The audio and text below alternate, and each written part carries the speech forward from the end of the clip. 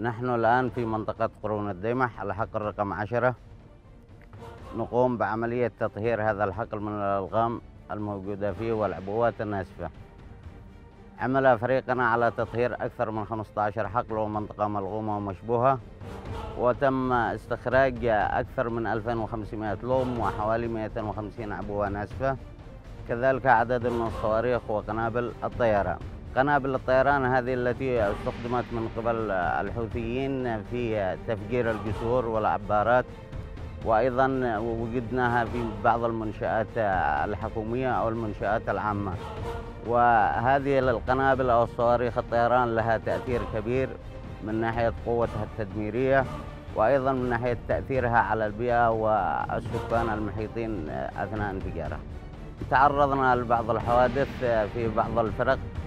طبعا من البرنامج الوطني للتعامل مع الألغام ومشروع مسام حياة بلا ألغام.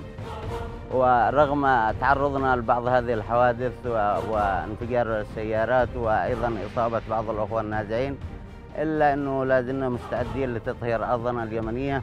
مهما كانت الخسائر ومهما كانت النتائج جهودنا سوف تستمر رغم هذه الصعوبات ورغم هذه التضحيات التي نقدمها في سبيل تطهير الأرض اليمنية من مخلفات الألغام والقذائف والصواريخ